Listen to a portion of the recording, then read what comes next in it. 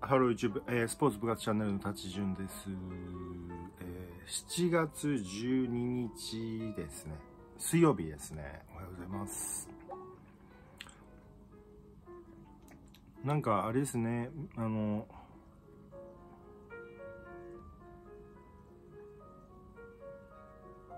ミサイルが飛んだみたいですけどね。え味の素で堀江さんが怒ってますね。国際問題か。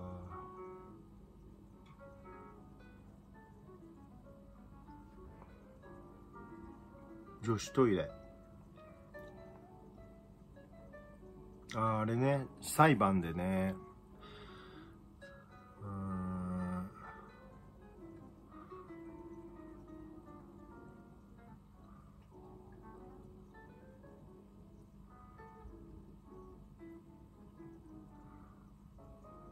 女子トイレね。男性の女子トイレ使用は NG。でも女装したら OK。になっちゃうのか。ジェンダーね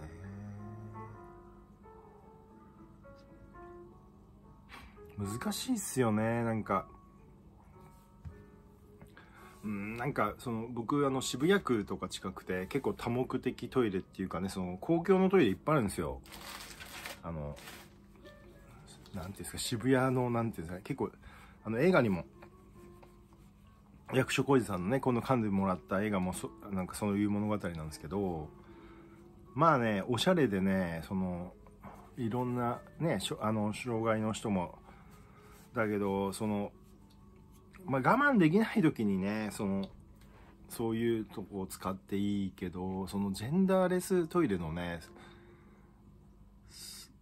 存在、僕がね、使っててね、やっぱりその広い、広すぎて落ち着かないっていうのがあるから、僕はほぼ使わないんですけど、なんか、あと、障害の人とかね、高齢者とか、まあそういう、ね、杖を持ったような人。でね、割とね、あの、自動ドアのボタンとかあって、ちょっと不安になるんですよ。なんか開かないかなって。あの、オート、オートなんで閉まるとか。で、どうなんですかね。なんかその、ね、裁判でその、女性、女性、女子トイレに、男性の女装した人が入ったら、まあ、OK みたいな、今、話になってるんですけど、どうなんですかね。逆の場合もありますよね。その、女性なのに男性っぽい人が、まあでも、大の方に入るんでね、女性の場合は、やっぱり女性は男性の格好した人、嫌でしょうね。難しいですけど、でもやっぱり、そういう人は我慢して男性のとこに入るって決めないと、どうなんすかね難しい。難しいっすよね。僕もなんかそのケースバイケース、僕がもしその、そういう人がいたら、うん、難しい。生徒でね、昔生徒でもそういう男子生徒がいて、結構嫌だったと思いますよ。その、ね、その、せ、心は女性の男性生徒を見ましたけどね。結構まあ、いじめ、人気者っぽかったですけどね。僕はそこまで、でもそういう、その彼は高校時代そのトイレとか、そういうのも、辛かったと思うんですけどね。かといって女性全員がその、ね、それを受け入れるかって言ったら嫌嫌っていうのも分かりますからね結局それは確認取れないので本当にそのねそういう性癖で目的で女性のねこの間も痴漢女装した痴漢した女装をして痴漢した人が捕まってましたけどなんかね動画撮られてまあちょっとこの辺は裁判でね。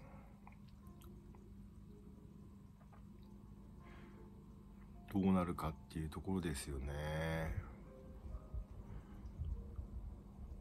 すいません。エアコンのエアコンの風がちょっとね音が鳴っちゃうんですよね。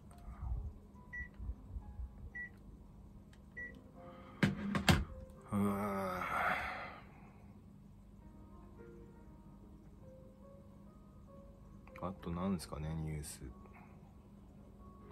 岸田やめろとかね。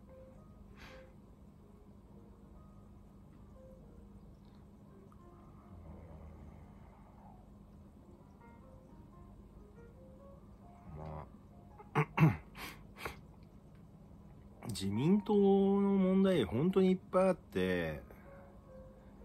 その維新もね問題もあるしそのでも自民党こんだけ問題なのに長期政権じゃないですか。まあ不動のね。なんでなんていうんですかね。入っちゃえば何やってもいいみたいなハト派タカ派とかいるしね。そじゃあ何なんだよってなっちゃうんでね。党内に多様性があったらなんか方向性とかないんじゃないかってなっちゃいますからね。うん困りましたよね。うん。どうしようかな。木村拓哉インスタグラム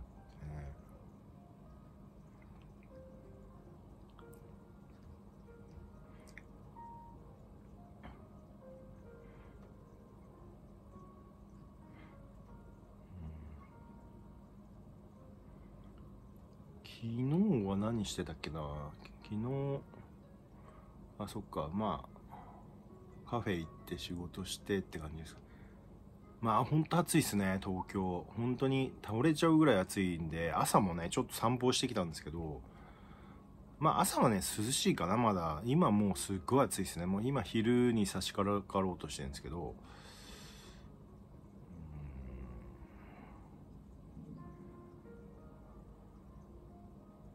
あで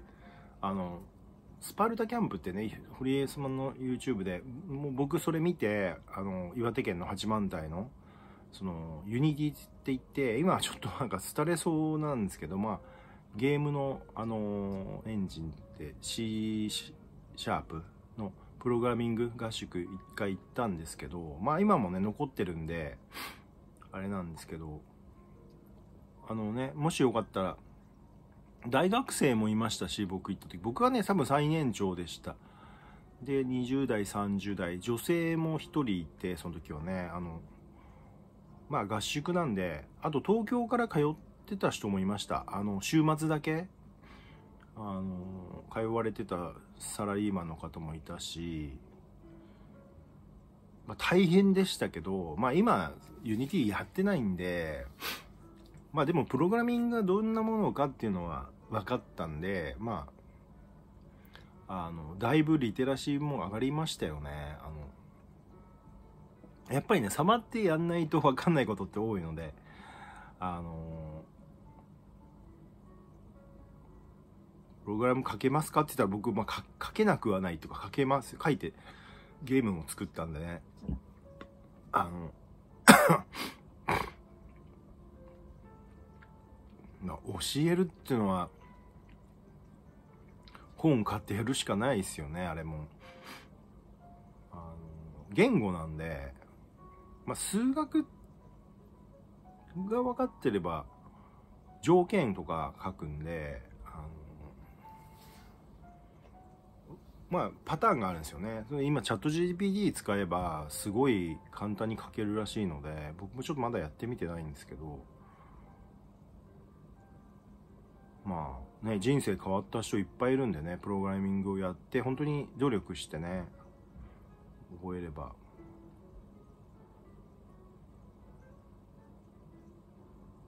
味の素か、堀江さんがなんか味の素のことを言ってましたけどね、味の素ね、まあ、あの僕も味塩持ってるんですけど、それで十分ですよね、塩と味の素。で化学調味料って言うんだけど僕はなんかあのもう亡き母方の岐阜のおじいちゃんがよくねたくあんをとかお漬物をすごい細かくしてごまを振って味の素をかけて醤油を垂らして食べさせてくれるんですよ。で僕はなんか家でそんなの食べたことなかったんでまあたくあんはおばあちゃんが作ったね。おばあちゃんもあのおじいちゃんも他界してるんですけどもだいぶ前に。それがね美味しくてね。でなんかまあおばあちゃんが先に亡くなっておじいちゃんが後で亡くなったんですけどあで僕これ舘順って舘舘家なんでね母親方は。まあ途絶えてしまったんですけどね。あのあの唯一の男性の末っ子の方も亡くなって結婚一回したんですけど離婚して独り身だったんであの相続はね、えー、なんで。まあねすごい岐阜の海津郡ってすごいいいとこで、まあ、今何もないんですけどねすごい、えー、和牛って言ってねほんといいとこでねなんかたくあんはねいっぱいあったんですよなんか。あの樽につけてね。で味の素をでその時はね何も思わなかったんだけど結局おじいちゃんはあんだけ味の素食べたけど別に長生きしたなとか思いましたよね。で味の素のグルタミン酸はまあその昆布の成分っていうのは知ってたのでまあそれをね化学調味料って言っちゃった時代があったのでまあねほとんどの世の中の食べ物とかものっていうのは元素記号で表せるんで自然のものって言っても元素記号でね厳密に言うと表せるのでっていうとこなんですけどね。やっぱりなんか元素記号でね水平リーベ僕の船じゃないですけど会うとなんか気持ち悪いって思うんでしょうね。その特に日本人はなんか漢字みたいなのがあるんでひらがな。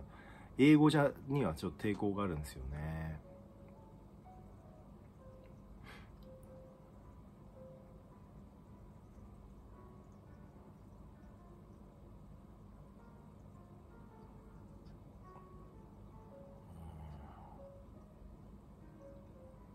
まあそんなこんなでえー あとあのピボットっていうねあのまあ IT 系のニュースピックス辞められた方があの作った YouTube チャンネルなんですけどそれで、あのトップ YouTuber としてえー、っとロッテマリロッテにいたあの里崎さんは WBC でもえー、キャッチャーだったね、が呼ばれて、で、えー、大木さんっていう、もう一テレビ局のアナウンサーのね、すごい可愛いらしい人が、今、アナウンサー辞めて旅行代理店かなんかにいて、で、YouTube やっても全然伸びないって、まあ僕も伸びてないんですけど、で、なんかこう、で、えっ、ー、と、TBS のアナウンサーだった、なんだっけ、なんとかさん、ハーフの、かっこいい人、えー、その人と3人で、で、里崎さんが別に YouTuber でも何でもない、なんで呼ばれるんだっつって、なんかいろいろこうね、アドバイスしたらもうそれが的確すぎて、